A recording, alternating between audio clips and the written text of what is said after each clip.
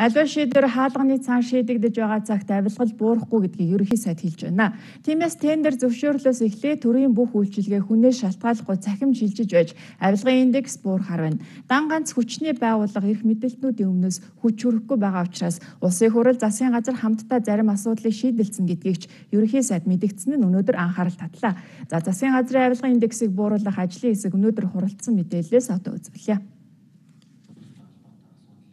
Төрд итгэх иргэдийн итгэлийг хулгайлж байгаа албан тушаалтны 8 авилгыг цэцгэлүүлж байна. Төрийн өмчөд үйлдвэрийн газрууд төрийн нэрийн өмнөөс шийдвэр гаргадаг яам агентлаг авилга хүн цувтал газар авсан гэдгийг бол гүйцэтгэх засаглалын тэргүүн шууд хэллээ.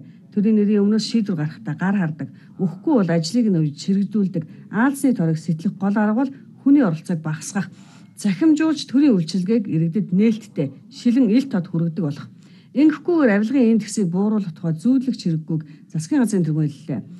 Төрийн 500 үйлчилгээг захимаар хүргэх ийм Монголиад цонх үүсгээд удаж байна. Харамсалтай нь төрийн байгууллагууд өөрсдөө захин болохыг хүсэхгүй байна, хүсэхгүй байгаа учраас захим шилжихгүй хойрог хандаж байгаа гэж ерөнхий сайд буруутгасан.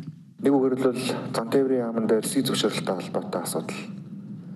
Нийслэлээр газрын албатай холбоотой асуудал. Сангийн яамн дээр гайлтай холбоотой асуудал шадар сайд дээр мэрэгжлийн ялалттай холбоотой асуудал, хууль дотоод хэргийн яам дээр бүртгэлтэй холбоотой маш их олон зөвшөөрлийн хүн сурталууд байгаа. Энэ бүх асуудлыг бид нар яаж захимжуулах уу, яаж хүнээс үлсүүл хамаардаг болох уу гэдэг асуудлыг гүйцэтгэх засаглал өөрөө хийхээс өөр гарцгүй.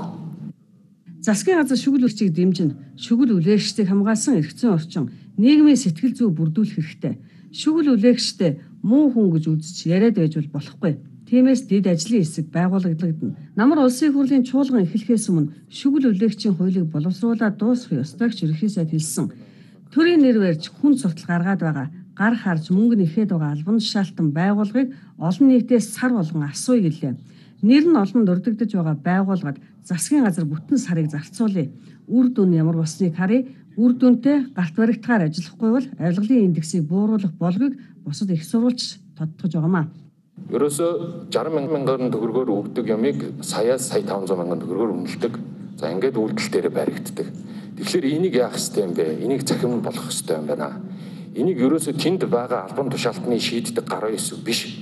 Ерөөсө энийг биднээс хиймэл оюун ухаан захим ийм юмар шийдэх ёстой байна. Ирэх 2 жилдээ 2 жилийн хугацаанд энэ хоёр оронтой тоонд одоо оруулахын тулд бол хамгийн түрүүнд энэ цахим өндө үндэстэн болох те цахим засагтаа болох нээлттэй засгийн одоо түншлэлийг одоо боддоор жинхнээр хэрэгжүүлэхэд бол шаардлагатай. А мэдээж хэрэг одоо авилгалын гол одоо үндэс суурьтай урчиг нь бол улс төрийн санхүүжилттэй холбоотой байдаг.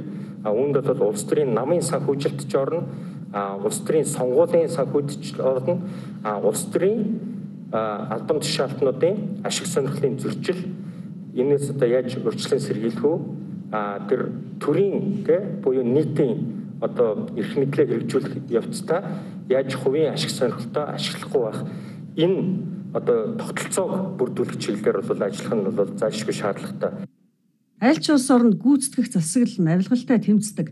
Тиймээс засгийн газар өөрийнхөө зүгээс юу хийж чадах зүйлээ хийнэ Авилгалтай тэмцэх газар хууль хяналтын байгууллагад дэмжлэг үзүүлж хамтарч ажиллана. 2 жилийн хугацаанд авилгалыг жигших нийгмийн шин соёлыг бий болгоно гэдгийг засгийн газрын тэргүүн өнөөдөр мэдгдлээ.